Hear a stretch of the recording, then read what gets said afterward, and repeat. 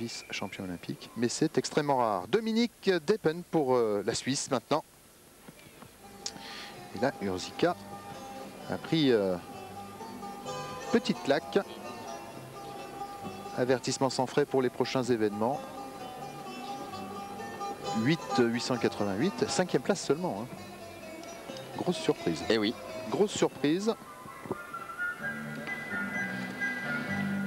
Ah, et ben, Deppen Oui, Daipen, mais là, c'est déjà euh, un petit peu plus plus, fréquent ouais. pour lui, un petit peu plus compréhensible. L'émotion aussi d'être en finale pour euh, Daipen, qui, euh, pour lui, c'est une première. Voilà, la flexion du bras droit, impardonnable. Il faut effectivement aller chercher ses appuis très très très rapidement pour dominer le cheval et pouvoir enchaîner les cercles avec rapidité et maîtrise.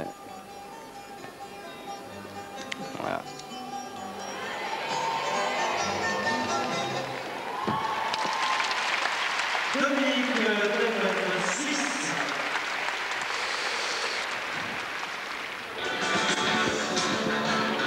Et il ne bousculera pas la hiérarchie du cheval d'Arson, puisque le premier, donc, à, la surprise générale, est Johan Soussiou devant le chinois Huang. Troisième Fekete, autant pour nous. Euh, Urzika devait l'emporter. Bien, vous voyez que rien n'est jamais euh, figé ni réglé en gymnastique.